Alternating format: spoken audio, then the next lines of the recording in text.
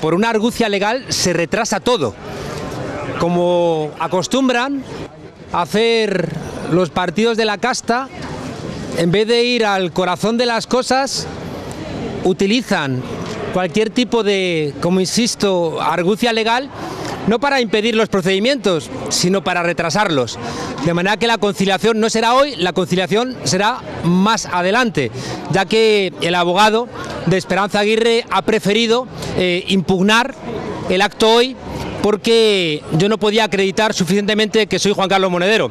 Es decir, que los estatutos de Podemos no estaban presentes cuando en el acto inicial, cuando se plantea la demanda, se traslada al Partido Popular y ellos no hacen ningún tipo de alegación. Han esperado hoy para presentar que faltaba ese papel y invalidaban el acto. De manera que esta actuación lo que hace es volver a empezar, volver a hacer gasto, volver a perder tiempo. Pero bueno, el Partido Popular le gustan este tipo de actuaciones para convertir los procesos políticos en procesos judiciales. A ver si la gente se cansa, pero la gente de Podemos no se cansa. ¿Veníais dispuestos a conciliar?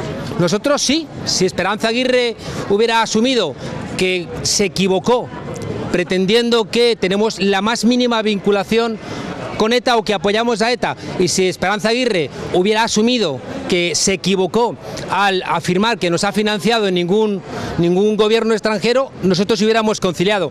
Pero en vez de ir a esa conciliación han preferido, ya digo, eh, convertirlo en, en, un juego de argucias legales para retrasar todo el proceso. ¿Por qué habéis buscado a Esperanza Aguirre cuando han sido más medios los que han dicho bueno, Esperanza Aguirre se significó de una manera muy clara a través de Twitter, a través de los medios, con la voluntad de intentar descalificar a Podemos. La irrupción de Podemos ha generado mucha ilusión en la ciudadanía y ha generado mucho miedo en los partidos que se creían impunes y por eso optaron por intentar acusar de cualquier tipo de barbaridad a Podemos. Eso es lo que nos ha traído a los juzgados y es lo que nos va a seguir trayendo a los juzgados siempre y cuando los partidos de la casta o quien fuere siga acusándonos de cosas falsas.